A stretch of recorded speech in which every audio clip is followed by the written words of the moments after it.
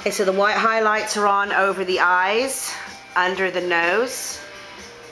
And as you can see, we've come down for what's going to become the actual big teeth. Now the next thing I'm going to do is take a dark brown and highlight around the top of the uh, eyes and uh, cover in the bottom lip where the teeth are not supposed to be and um, just some highlighting around that general area of the mouth.